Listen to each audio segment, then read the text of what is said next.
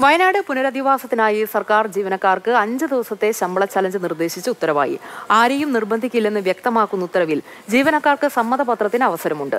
അതേസമയം salary challenge നിർബന്ധമല്ല എന്ന് പറയുമ്പോഴും ആരും വിട്ടുനിൽക്കരുതെന്ന മുഖ്യമന്ത്രിയുടെ അഭ്യർത്ഥന ഉത്തരവിൽ പരാമർശിച്ചിട്ടുണ്ട്. ഉരുൾപൊട്ടൽ ദുരന്തമുണ്ടായ വയനാടിന്റെ പുനരധിവാസത്തിനായി മുഖ്യമന്ത്രിയുടെ ദുരിതാശ്വാസ ഫണ്ടിലേക്ക് പണം കണ്ടെത്തുന്നതിനാണ് ഇത്തവണത്തെ സാലറി ചലഞ്ച്. സർക്കാർ പൊതുമേഖല ബോർഡ് സർവകലാശാല എയ്ഡഡ് തദ്ദേശ സ്ഥാപനങ്ങൾ കമ്മീഷനുകൾ ട്രിബ്യൂണലുകൾ എന്നീ ജീവനക്കാർക്കാണ് ശമ്പള ചലഞ്ച്. പ്രളയകാലത്തും കോവിഡ് കാലത്തും നടപ്പാക്കിയ സാലറി ചലഞ്ചിൽ നിന്ന് വ്യത്യസ്തമാണ് ഇത്തവണത്തേത്. എല്ലാ സർവീസ് സംഘടനാ നേതാക്കളുമായി മുഖ്യമന്ത്രി ഒറ്റയ്ക്ക് ചർച്ച നടത്തി. അവർ നിർദ്ദേശിച്ചതാണ് അഞ്ച് ദിവസത്തെ സാലറി ചലഞ്ച്. എന്നാൽ നിർബന്ധമായും നിശ്ചിത ശമ്പളം നൽകണമെന്ന സർക്കാർ നിർദ്ദേശമുണ്ടായാൽ അത് അംഗീകരിക്കില്ലെന്ന പ്രതിപക്ഷ സർവീസ് സംഘടനകൾ കർശന നിലപാടെടുത്തിരുന്നു. അതിനാൽ ധനവകുപ്പ് പുറത്തിറക്കിയ ഉത്തരവിൽ കുറഞ്ഞത് അഞ്ച് ദിവസത്തെ ശമ്പളമെങ്കിലും സംഭാവന ചെയ്യണമെന്ന നിർദ്ദേശമുണ്ടെങ്കിലും ആരെയും നിർബന്ധിക്കില്ലെന്നും വ്യക്തമാക്കുന്നു.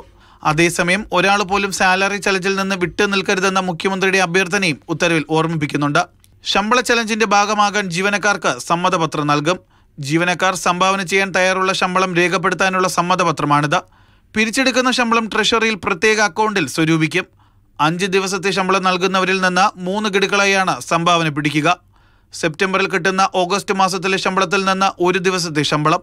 തുടർന്നുള്ള രണ്ട് മാസങ്ങളിൽ രണ്ട് ദിവസത്തെ വീതം ശമ്പളം പിടിക്കും.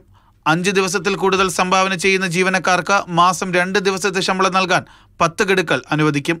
ജീവനക്കാർക്ക് പി ഫണ്ടിൽ നിന്നും പണം അയക്കാവുന്നതാണ്. ആർജിത അവധി സറണ്ടർ ചെയ്തും സാലറി ചലഞ്ചിന്റെ ഭാഗമാകാം. കുറഞ്ഞത് അഞ്ച് ദിവസത്തെ ശമ്പളമെങ്കിലും സംഭാവന ചെയ്യണമെന്ന ഉത്തരവിൽ പറഞ്ഞിട്ടുള്ളതിനാൽ ഒരു അവ്യക്തതയുണ്ട്. അഞ്ച് ദിവസത്തിൽ കുറവ് ശമ്പളം സംഭാവന ചെയ്യാൻ ഉദ്ദേശിക്കുന്നവർക്ക് അവസരമുണ്ടാകുമോ എന്ന കാര്യം സമ്മതപത്രം ലഭിക്കുമ്പോൾ അക്കാര്യത്തിൽ ഒരു വ്യക്തത വരും. പ്രതിപക്ഷ സംഘടനകളുടെ വിഷയത്തിലെ നിലപാടും പ്രധാനമാണ്. മാതൃഭൂമി ന്യൂസ് തിരുവനന്തപുരം.